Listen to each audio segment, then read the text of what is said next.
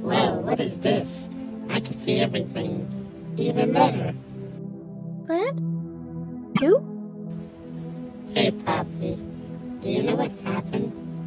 Something amazing has happened. I see. You have eyes. And you have a mouth.